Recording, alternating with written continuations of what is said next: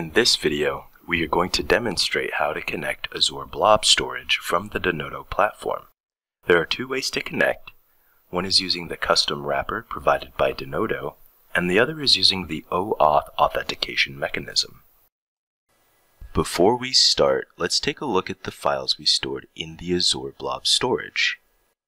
KB Articles 39571 is the container where we have stored two files. One is a Parquet file for which we used a Denodo custom wrapper, and another is a comma-separated file connected from Denodo using the delimited file connector and OAuth credentials. First, let us see about connecting to Azure Blob Storage using the custom wrapper, which is available in the Denodo support site. To download this custom wrapper, you need to have valid support site credentials.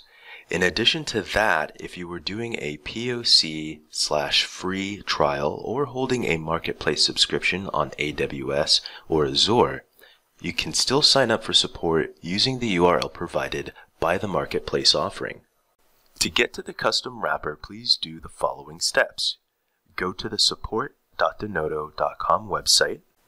Under the Downloads tab, click on Denodo Connects. Once you are on the Denodo Connects page, search for Denodo Distributed File System Custom Wrapper. The Denodo Distributed File System Custom Wrapper distribution contains five Denodo wrappers capable of reading files in several formats, from HDFS, Amazon S3, Azure Data Lake Storage, Azure Blob Storage, Azure Data Lake Storage Gen 2, and Google Cloud Storage. The supported file formats are delimited text files, sequence files, map files, Avro files, and Parquet files. It also contains a custom wrapper to retrieve file information from the distributed file system and display it in a relational way. Click the download icon next to the wrapper name. Now the wrapper is being downloaded. Unzip the file to have the jars extracted. After the wrapper is downloaded and extracted, we need to import this wrapper into the Virtual Dataport Administration tool. Open the Virtual Dataport Administration tool, click on the File menu, select the option Extension Management. A new window is opened. In this window, click on the Import button to import the downloaded custom wrapper. Now, browse to the folder location where you have the jars of the Denodo Distributed File System custom wrapper present and click on the Import button. Please note that the wrapper has three jar files present in the dist folder. Select the jar name denodo-hdfs-custom wrapper 7.0-201-90829 jar with dependencies. Make sure to select the correct jar file in order to use the complete features of the custom wrapper. Click OK to import the jar file into the Virtual Dataport Administration tool. Once the jar file is successfully imported, you will get an alert displaying the new elements imported into the Virtual Dataport server. The next step is to create a data source for connecting to Azure Blob Storage. Right-click on the Elements tree, select New, Data Source, and Custom option. A new tab is opened. Provide a name for the custom data source. Next, you need to select the class name. Before doing that, make sure to check the box Select Jars. In the list, select Denodo-HDFS-Custom Wrapper 7.0 option. As you select that, you can now see the class name parameter filled with values. Now click the drop-down option to view the list of classes for the custom jar. You can choose the appropriate class depending upon the file type in the list below. As we are using a Parquet file for this demo, select the following class from the list, com.denodo.connecthadoop blob.hdfs.wrapper.hdfs parquet file wrapper. Now, we need to create a base view to introspect the data from the blob storage. To do that, click on the Create Base View button on the top right side of the Data Source tab. A new window is presented. Provide the file system URI value. This is the URI which has the connection details of Azure Blob Storage. URI will be in the format WASB colon forward slash forward slash container name backslash at symbol account name dot blob dot core dot windows dot net or WASBS colon forward slash forward slash for SSL encrypted HTTPS access. WASB or Windows Azure Storage Blob is the file system implemented as an extension built on top of the HDFS API. Provide the path of the Parquet file that you want to access from the Azure Blob storage. Please note these fields are mandatory. Now we need to provide a configuration file that overrides the default core site parameters file. This file contains the credentials and the custom options that are needed to connect and introspect the Azure Blob storage. Here is the sample core-site.xml file, which you can use to create a custom file and replace the relevant access credentials. To know more about this core-site.xml file and details regarding the other optional parameters, refer to the official documentation that comes along with the Denodo distributed file system custom wrapper downloaded folder. In the drop-down next to custom core-site.xml file, select the option Local. Then click on the Configure button. In the new window, browse to the folder location where the custom core-site.xml file resides. Once you have selected the file, click OK. Now you can see the folder path with the file name displayed below the parameter custom core-site.xml file. Click OK to create and see the schema of the base view. Then rename the base view and save it.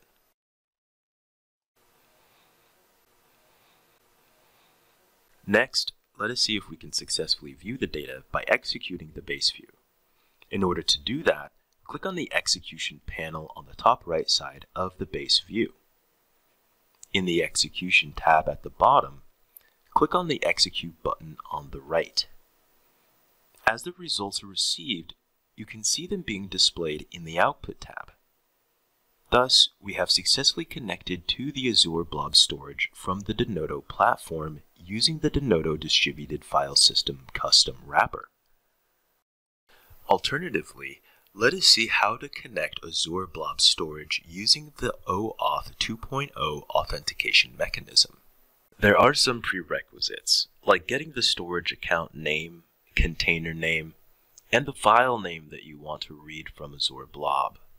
You can get these as well as OAuth related credentials by following the steps elaborated in the knowledge base article. You can find the link for this article in the details section of this YouTube video. Once the prerequisites are ready, the final HTTP URL should be something like this.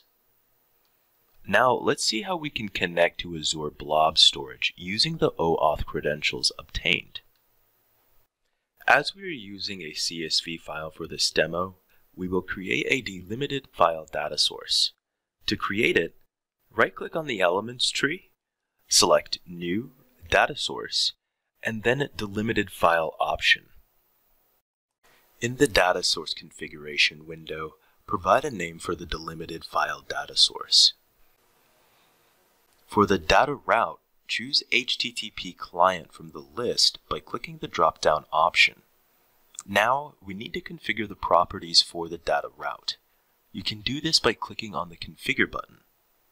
A new window with several tabs to set up the HTTP connection appears.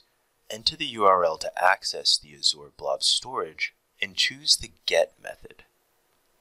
The URL usually follows the following format. Azure Blob Storage account name, followed by blob.core.windows.net slash the container name slash the file name that is stored in the Azure Blob Storage. Now, we need to provide the authentication details for our connection. Go to the Authentication tab and choose OAuth 2.0 Authentication from the first dropdown. Leave the Authentication Grant parameter as it is. Provide the client identifier and client secret corresponding to the Azure Blob storage which is created as part of the prerequisites. Choose the request signing method as URL query parameter parentheses quotation mark access underscore token quotation mark parentheses. Then click on launch the OAuth 2.0 credential wizard to help you obtain these credentials to get the OAuth 2.0 credentials from the Azure Blob storage. Once you click on it, the OAuth 2.0 credentials wizard appears. Provide the token endpoint URL and the authorization server URL, which you can find in the endpoint section of the app you registered in Azure Blob Storage. Now, click on Generate the Authorization URL option to generate the authorization URL based on the above inputs. Now you can find a new link with an option Open URL. Use this link to get the response URL that contains the OAuth credentials. Click on Open URL and you will be redirected to the Microsoft sign-in page where you need to provide your registered Microsoft account details. Please note that to access this page you must be an Azure Active Directory user. After signing into the Microsoft account, copy the response URL and paste it in the OAuth 2.0 credential wizard. Click on Obtain the OAuth 2.0 credentials option and click OK to store the credentials. Now the access token and the refresh token that creates the connection between the Denodo platform and the Azure Blob storage is obtained. Click Test Connection to validate the connection.